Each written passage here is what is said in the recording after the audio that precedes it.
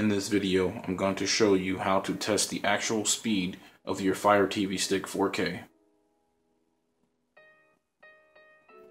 What's up YouTube? In today's video, I'm going to cover how to test your Fire TV Stick 4K's actual streaming speeds, which can help you get an idea of how your network and devices perform in real time versus what your internet service provider promised you. Keep in mind it is very rare to get the entire download and upload speeds that you pay for through Wi-Fi. You usually only get 70 to 80% of the total bandwidth that you pay for. You will always have more reliable speeds when you hardwire your Fire TV Stick connection. Hardwired connections will give your Fire TV Stick the ability to perform at the highest level. If you want to hardwire your Fire TV Stick, I will leave a link in the description below so you can purchase the Amazon Ethernet adapter, which will allow you to run an Ethernet cable directly to it. That way it can perform at the maximum level. Now, there are some other Wi-Fi tips and tricks you will want to consider, like the location of where your router is set up. This image here illustrates this reality clearly. If you can, it's always best to place your router in the middle of your place and at least 3 feet off the floor. So let's get started and start running some tests. Let's begin by downloading the speed testing app. I believe it's pronounced Analiti. So let's uh, go ahead and scroll over to the uh, apps, the Amazon app section here in the top left hand corner. Go ahead and select the magnifying glass there. And then let's go ahead and spell it. I believe it's A-N-A-L-I-T-I.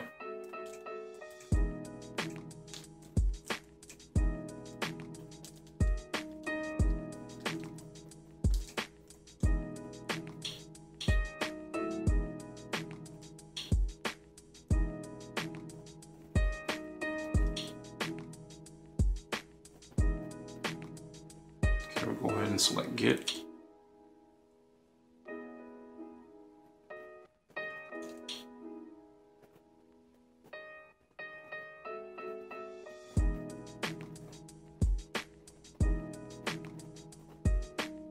All right, let's go ahead and open it. Okay, and as soon as you open it, you can see it, it go, it starts testing it right away. You don't even have to select quick test or anything.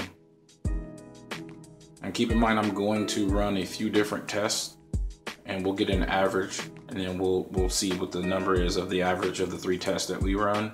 But I'm also going to do a hardwire test where I'm gonna um, plug in a uh, ethernet cord directly to it.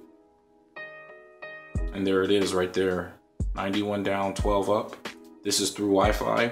We have 100 here. Okay, let's go ahead and do the second test through Wi-Fi on 5G.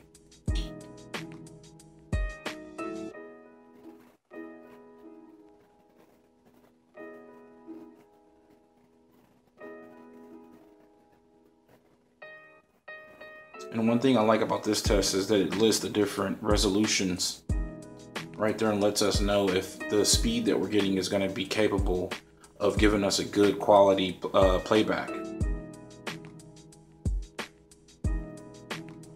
And there it is, just about the same, give or take. Okay.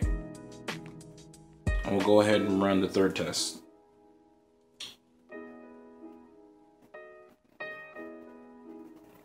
Keep in mind, I'm running this devices directly next to uh, my router here in the living room.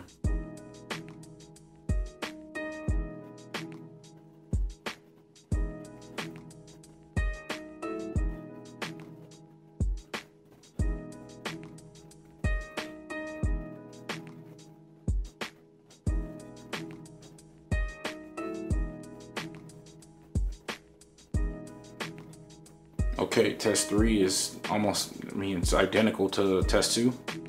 So now I'm gonna go ahead and hardwire the connection and then we'll run the test in and we'll come back as soon as I get it hardwired. Okay, we're back.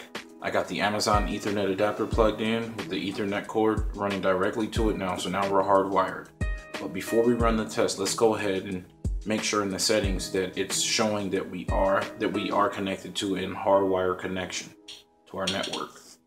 Scroll over to settings, into network, and there it says wired, if you see it there, wired connected.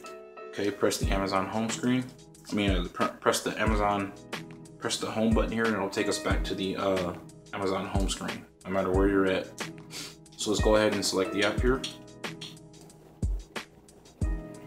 Okay, let's see what our results are now.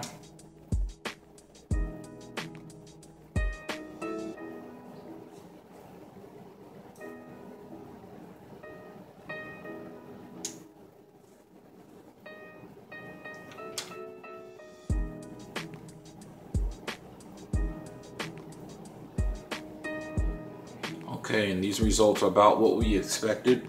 Um, we recently had a bump up from 60 megabits to 100 megabits, and we've been running tests since our bump, and we have not been able to get a test result that tests uh, at 100 or above. So this is about where we've been the whole time, but I am surprised that the 5G is actually performing that good, but that doesn't mean it's gonna be as reliable as a connection since the, this connection is directly connected, hardwired. And there you have it, folks. This is how you run a test on your device and make sure that your network and your device is at least within a certain uh, speed that we need to get certain resolutions like, you know, 720, 1080p, 4K, and, and, and even 8, uh, 8K when that those services become available. Feel free to share your results in the comment section below. And that does it for this video, guys. If you want an amazing IPTV service for live TV and sports, make sure to check out our Nitro TV demo. The link will be in the description below. Also, don't forget to like, share, and subscribe to this channel because we will continue to provide tips and tricks that will keep you up to, up to date what's going on in the industry and how to keep your device running for the long haul. We will be back with another video here in a few days. Reach out to me if you need help with anything else Talk to you soon. Take care.